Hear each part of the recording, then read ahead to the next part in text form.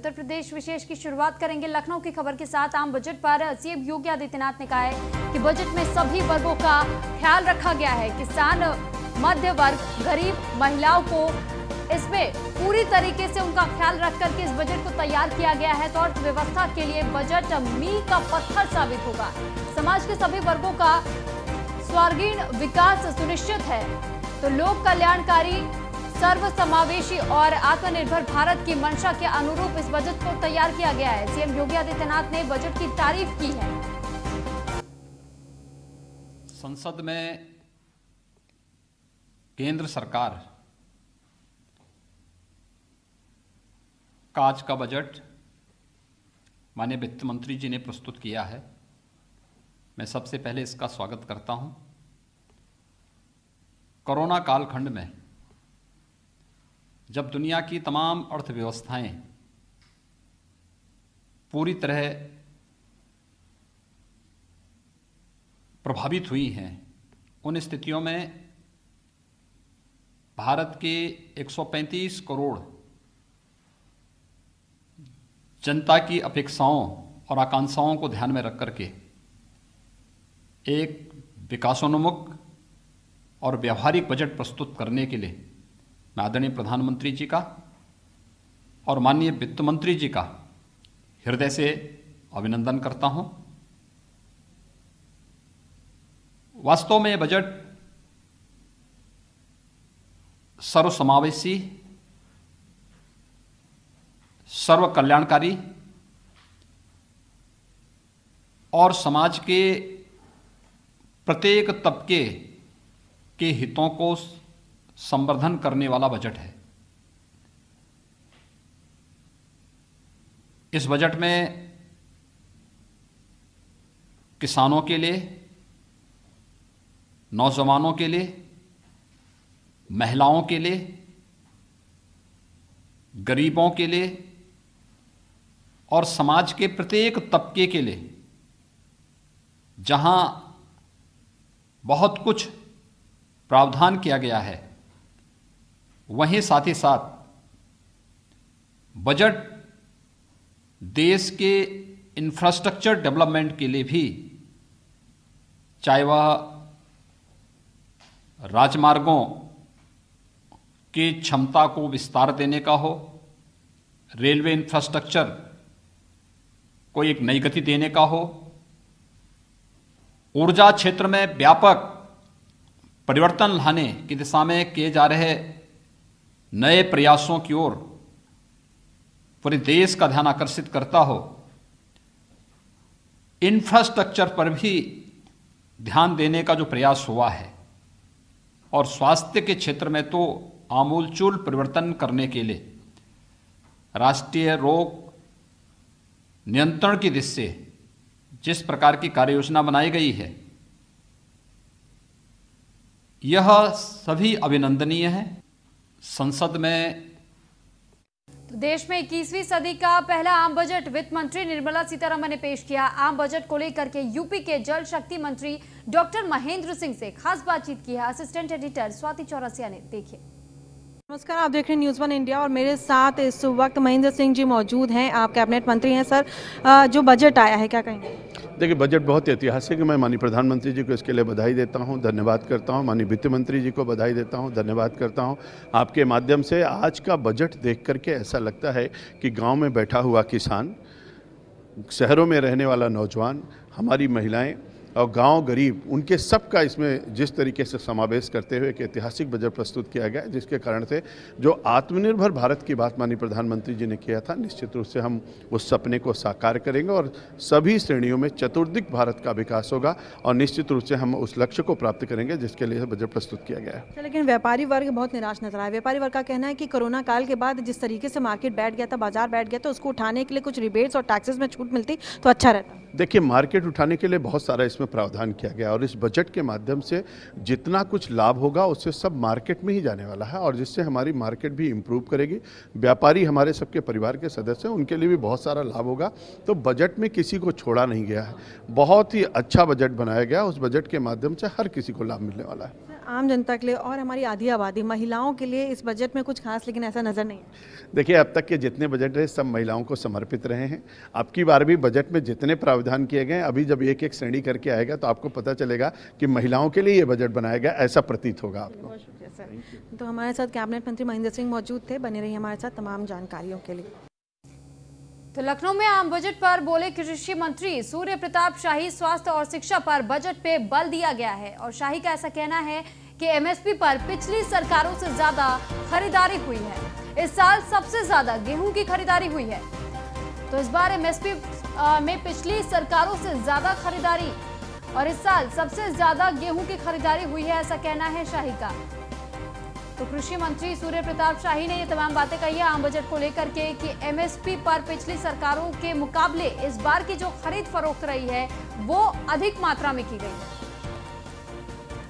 देखिए, आम आदमी को राहत देने वाला बजट है और इसके माध्यम से जो बेसिक आवश्यकताएँ थी, स्वास्थ्य और शिक्षा की, उसके ऊपर विशेष रूप से बल दिया गया है और स्वास्थ्य में तो एक परसेंट से ज़्यादा की जो है वो बजट के भीतर गत वर्ष की तुलना में धनराशि व्यवस्थित की गई है। देश कोरोना महामारी के चुनौतियों से का सामना कर रहा था और उसको आने वाले भविष्य के भीतर हमारी स्वास्थ्य सुविधाएँ बेहतर रहें, इसके लिए बड़े मात्रा में वहाँ, उसमें धनराशि की व्यवस्था की गई है।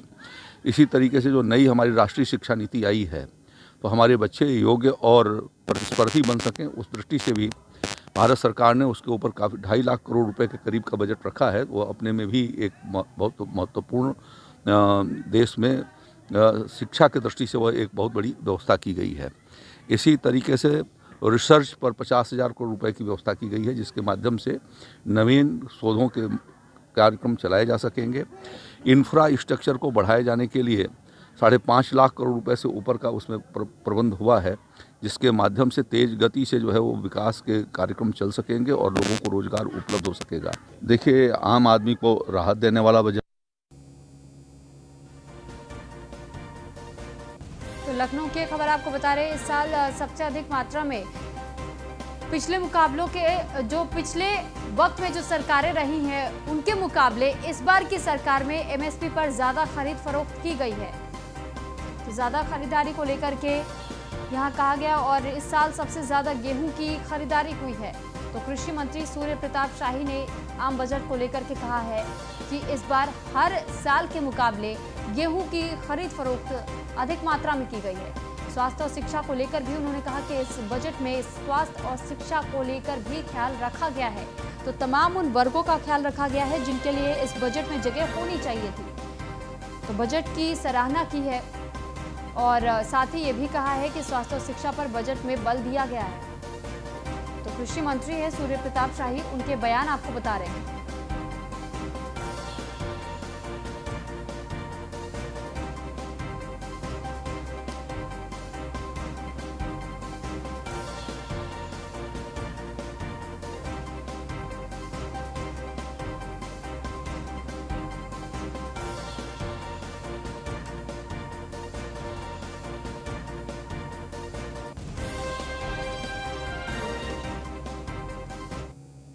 तो बजट को लेकर केंद्रीय मंत्री राजेंद्र प्रताप सिंह ने भी क्या कुछ कहा है आपको वो भी सुनवाएँगे। के लिए बहुत बड़ा दिन हमारी वित्त मंत्री निर्मला सीतारमण ने आज बजट पेश किया और उसी के मद्देनजर तमाम लोगों से हम लगातार चर्चा कर रहे हैं और इस वक्त हमारे साथ राजेंद्र प्रताप सिंह जी, मोती सिंह जी यहाँ पे मौजूद हैं, ग्रामीण मंत्री हैं। इनसे भी हम जान लेते हैं कि बजट को लेकर इनको क्या कुछ कहना है। इनके पास जो बजट में क्या कुछ इनके डिपार्टमेंट के लिए है? किस तरीके से देखते हैं कि ग्रामीण क्षेत्रों को इससे फ़ायदा होगा? सर, बहुत बहुत स्वागत है न्यूज़ वन इंडिया पर। धन्यवाद। देखिए, आज का बजट मेरा भी लंबा राजनीतिक जीवन है। और सभी सरकारों में हर वर्ष बजट प्रस्तुत किए जाते हैं। मोदी जी के नेतृत्व के बाद जितने बजट आए हैं, वो अपने आप में बहुत अच्छे थे और लोक कल्याणकारी थे। लेकिन इस बार के बजट में जो सबसे बड़ा काम हुआ आज जिनकी साया में हमारे परिवार हैं हमारे हमारे जो नौजवान हैं पचहत्तर वर्ष से अधिक आयु के अपने बुज़ुर्ग को इतना बड़ा सम्मान किसी ने सोचा नहीं था उन्हें आईटीआर को भरने की ज़रूरत नहीं। ये बहुत बड़ा काम हुआ है। सत्रह परसेंट ग्रामीण क्षेत्र के विकास के लिए बजट का एलोकेशन है। जो बहुत बड़ा हिस्सा है और बहुत दिनों के बाद ये पहली बार इतना, इतनी धनराशि एलोकेट की गई है ग्रामीण क्षेत्रों के विकास के लिए। अच्छा ये बजट श्रेष्ठ भी है, सशक्त भी है और आत्मनिर्भर भारत की की बुनियाद की ओर बढ़ता हुआ बजट है और मैं तो मानता हूँ कि उसकी ये बुनियाद बनेगा। और जीवन की जो बुनियादी ज़रूरतें आदमी सोचता है और को लेकर विकास से जुड़े जितने भी क्षेत्र हैं, उस पर आज का के बजट की नज़र दिखती है। उद्योग के क्षेत्र में, शिक्षा के क्षेत्र में, विज्ञान के क्षेत्र में, कृषि के क्षेत्र में, जन स्वास्थ्य के क्षेत्र में, चिकित्सा के क्षेत्र में बहुत ही अभूतपूर्व निर्णय लिए हैं और उसे इस बजट ने बल दिया है। तो मैं इस बजट के प्रति अपनी बधाई व्यक्त करता हूँ। कैमरा पर्सन अतुल के साथ स्वागत। तो समाजवादी पार्टी के तरफ़ से सुनील सिंह साजन का बयान भी बजट को लेकर के कहा और बजट पर उन्होंने निराशा ज़ाहिर की है। तो लखनऊ में बजट पर समाजवादी पार्टी एमएलसी सुनील सिंह साजन का बयान सामने आया। बजट ने एक बार फिर से देश को निराश किया है। सुनील सिंह साजन का ऐसा कहना, समाजवादी पार्टी एमएलसी है सुनील सिंह साजन। तो देश के किसानों और कृषि के लिए कुछ खास नहीं है इस बजट में, उनका ऐसा मानना। मोदी सरकार के इस बजट ने एक बार फिर देश के कमज़ोर मध्यम वर्ग, खेती करने वाले किसानों, बेरोजगार नौजवानों, छोटे उद्योगपतियों को निराश किया है। इस बजट में देश की अर्थव्यवस्था कैसे ठीक होगी, कोई रास्ता नहीं। कृषि पर क्या काम करेंगे, कोई रास्ता नहीं है। रोज़गार कैसे देंगे, रियल एस्टेट को दोबारा कैसे स्थापित करेंगे, इस पर कोई फोकस नहीं किया गया है। हाँ देश में बची कुछ चीज़ें, बिजली, सड़क, एयरपोर्ट, कैसे बेच सकते हैं? बेचने का ज़रूर प्रस्ताव है। ये बजट देश की 90 फ़ीसदी आबादी को निराश करने वाला बजट है। केवल 10 फ़ीसदी लोगों के लिए काम किया गया है बजट में। इससे खराब कोई बजट नहीं हो सकता। पुराने बजट की तरह यह बजट है। केवल कवर बदला है, पन्ने वही हैं। मोदी सरकार आम बजट आज पेश किया गया और ऐसे में कानपुर के जो व्यापारी वर्ग है, उनमें भी खासा निराशा देखने को मिली है।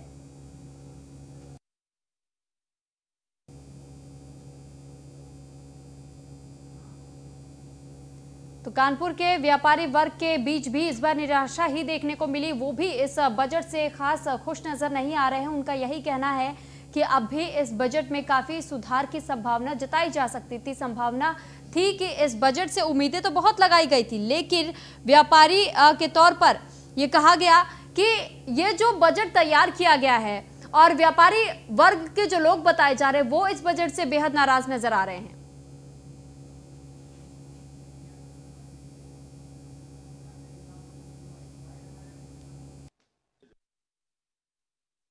केंद्र सरकार के बजट में, कोरोना काल के बाद में एज ए एमएसएमई उद्यमी, हम लोगों ने काफ़ी कुछ उम्मीदें लगी, लगा रखी थी।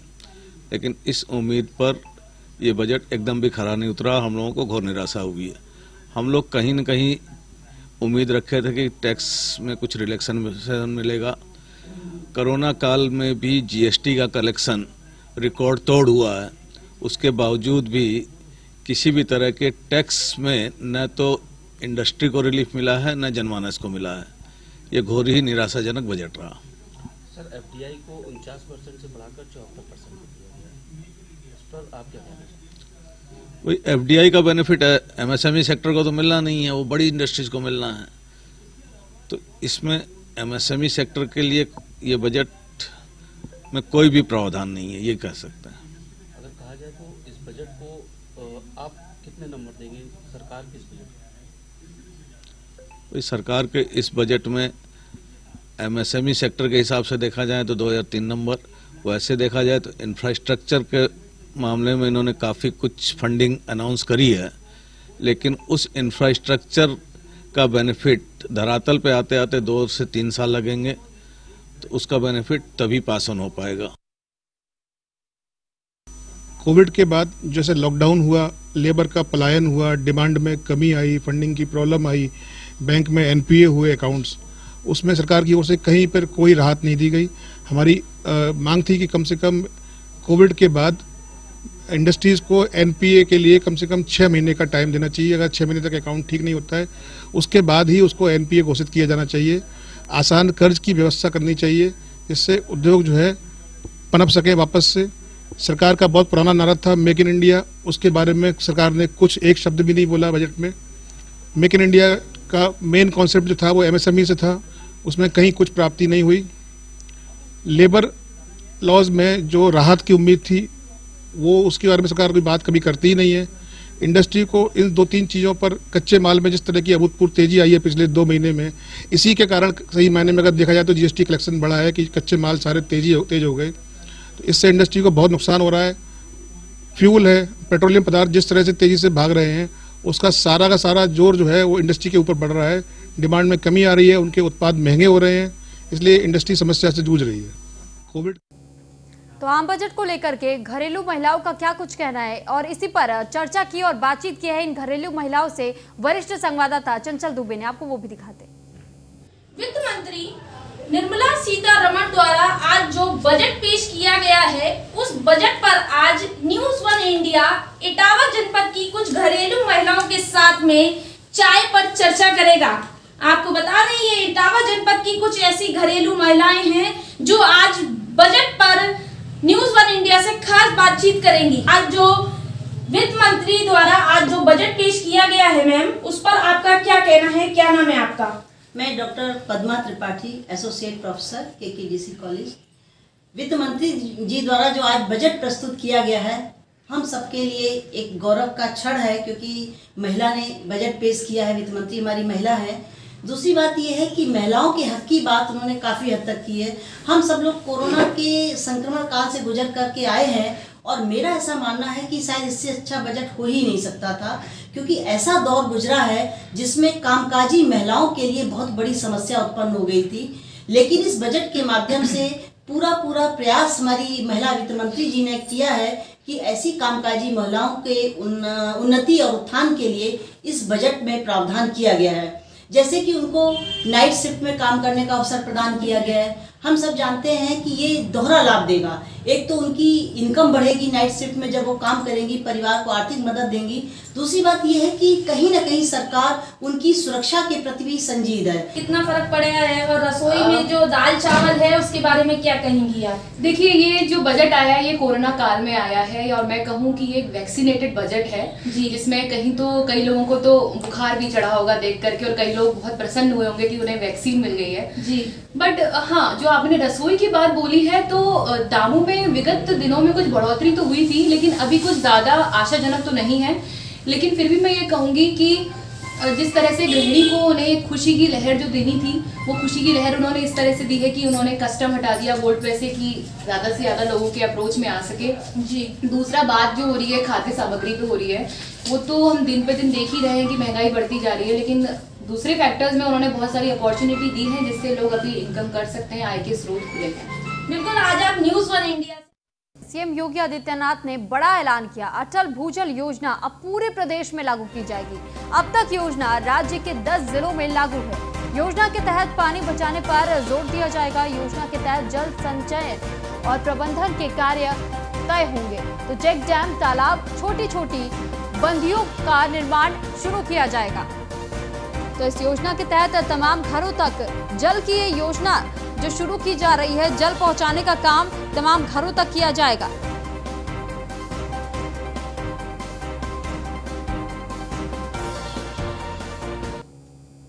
तो वहीं लखनऊ में यूपी के किसानों को योगी सरकार का बड़ा तोहफा मिला है। किसानों को राहत देने के लिए योगी सरकार की एक और पहल देखने को मिली। पीएम किसान सम्मान निधि योजना से वंचित किसानों को लेकर के ये पहल की शुरुआत सीएम योगी आदित्यनाथ ने की है। प्रदेश के सभी जिलों में आज से तीन दिवसीय समाधान दिवस के तौर पर मनाया जाएगा। और इसी का आयोजन सीएम योगी आदित्यनाथ करवा रहे हैं। योजना से वंचित किसान अपना आधार नंबर और नाम करा सकेंगे दुरुस्त। तो आधार सत्यापन की अनिवार्यता के चलते कई किसान अभी भी वंचित हैं।